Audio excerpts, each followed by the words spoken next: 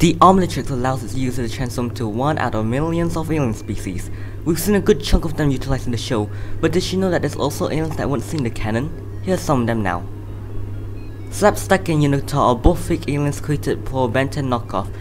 They don't have any real powers as most of their abilities relies on what Defense Vilpister, who is a shapeshifter, can do with his body, such as gaining mass and moving around.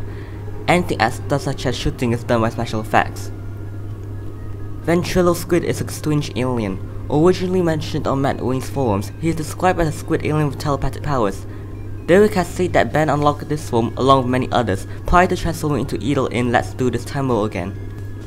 Thriller Whale is a joke alien came up on an interview. His name is a pun on Killer Whale and Michael Jackson's song Thriller, which implies that he has music or dancing related abilities.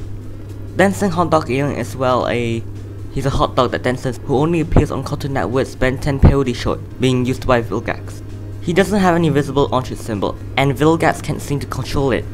He has a variant where there's a guitar swinging around his neck. Wait, wait, it's, what's going on this time? Ben, am I holding a rock and roll guitar? Is that what's happening here? It seems like I'm the same dancing hot dog, but now I have a rock and roll guitar. Black Cat's a character in a series of shorts called Villainous. In one of the shorts, Vilgax comes to his agency to get replica Onchits created by Flug, who programmed in various DNA samples, including Black Cat. Unfortunately, upon transformation, Vilgax became a horrendous hybrid and eats himself. The Kraken was a creature that Ben fought in the original series episode, The Kraken. In a short commercial, Ben transformed into the Kraken while in the pool. He doesn't appear to have any visible Onchit symbol and realistically this form shouldn't be possible due to Kraken not being sentient, nor is an alien, so much as it is a sea creature.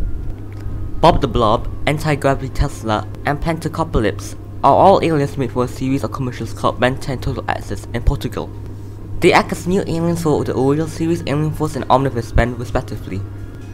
And those are all the non-canon aliens I have for you today. If you enjoyed the video, don't forget to like and subscribe to this channel for more videos. Also, check out my blog where I keep you updated on the latest Meta news, link in the description below. Who was your favorite non-canon alien? And what else do you want to see on this channel? Tell me in the comment section. Omni News, out.